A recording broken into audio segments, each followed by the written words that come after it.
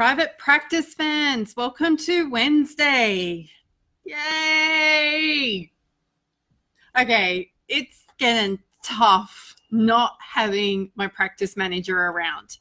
Now, while I say that, our surrogate practice manager, Paula, who's been around for ages, who doesn't work full time for us, is doing an awesome job keeping on top of the things but it's not the same as having the person inside the office with me, able to anticipate my freaking outness.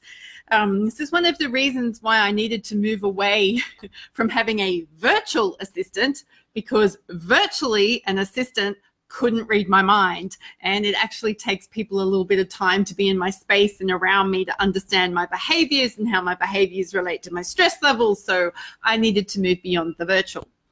But that's okay. Sophie's allowed to have a birthday and a holiday, and she'll come back next week all refreshed. And I may be under her desk in the fetal position. No, I'll be fine. It's just amazing when you are used to having another person around you full time and you've built your capacity to so my capacity as me as a human being and my capacity in my business to accommodate another full-time person it's amazing what happens when that resource is taken away so Moral to the story, I definitely need a full-time practice practice manager here. There we go. So the printer did survive. We did get on very well. And I did learn that if I read instructions, I work out how to replace the toner. There we go. Point taken. I just hate reading instructions and I want things fixed immediately. In fact, I don't want things to need replacing. It's that simple. I say the same thing about my computer technology, my car, and my groceries. Can anyone else relate? I'm just going to assume you're all going, of course, Jo. Nobody wants to take advantage of any of those things. so it has felt like a bit of a grind today, mainly because I have been head down in reports. I have finished the first draft of the report I started last week. Nine and a half hours to get me here, people. I still need to proofread it and edit it and proofread it and edit it and then send it off for some more proofreading and editing. I only proofread and edit my own work twice, and then I still need somebody to help fix those mistakes that I don't see. At the moment, it's sitting at around 15 pages. and there's actually two reports because it was really long. So I went, how can I make this easy for the people going to receive it? So I've turned it into two reports. I'm going to feel great when it's done and I'm not replacing that particular client with a similar client for a while. That's just hard work. I've also been proofreading the reports of other people in my business today. And I always dread doing that because I never feel like I'm good enough to proofread. I can't proofread my own work. How can I proofread the work of others? But what I'm very, very good at doing is helping people tell the story that needs to be told in a document and making sure that their decision making and their clinical reasoning is actually shown throughout the document. So I've become very, very good at that. It's a it's a style of forensic writing that I've I've been taught over many years of getting it wrong. Nothing like that little level of learning experience. So I wanted to speak some more into playing small today. I had a coaching session with someone this morning and it was pretty tough. It's, she's gone through some tough stuff, but been thinking about her all day and wanting to love on her a lot today. But it got me thinking about the types of things that will encourage us to stay small or play small. And I think as health professionals, most of us want to know that we're liked, we want to know that we're needed, we want to know that we're important. And as we start to grow and develop in our professional confidence, personal confidence, our business success might start to take off, or we might start charging more. We might start seeing a different type of clientele or doing work a little differently. You will find that there are other people in your world who don't want to come on that journey with you. This can be heartbreaking and gut wrenching. And if you're not ready for it and can't see it for what it is, it will keep you small it's it's not too dissimilar to why a lot of us stay, have stayed in relationships that have been unhealthy for as long as we have because it's known it's what we're used to it's what we're comfortable and the idea of the unknown and potentially being alone is terrifying. But there will be people who will come into your world or who are in your world right now who don't want to see you grow. They might say all the awesome things about go you, you've got this, rah you, you're awesome, until they start saying things like, what about your kids? Don't you want to be a better mother? Ha ha.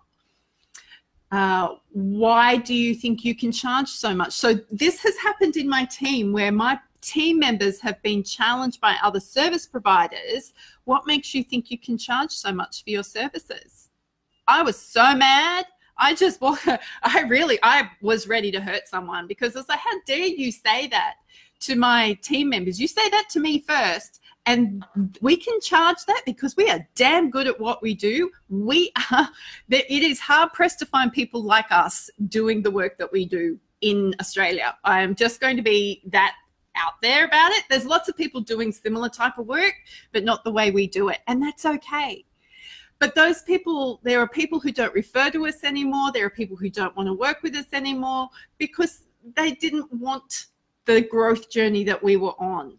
They liked us where we were when it was small and contained, when it was predominantly just me, and I had a caseload of 35 and I wasn't sleeping, and I would spend all weekend trying to write medico legal reports and have my migraines and flip out every time I took a holiday.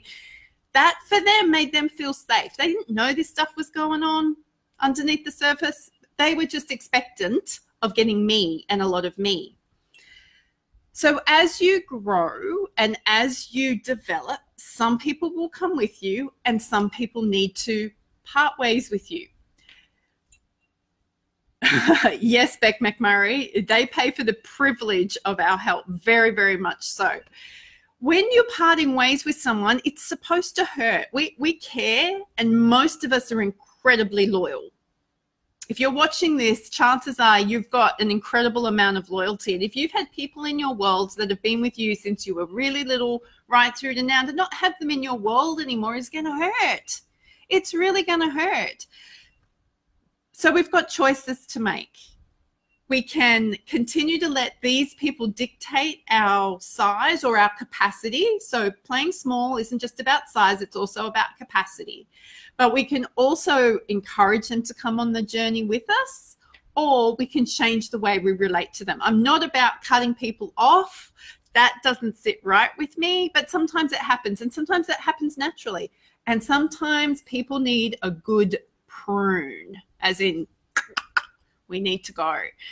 But I'm going to trust that you're wise enough to be able to make those decisions yourself and can navigate your own relationships that way.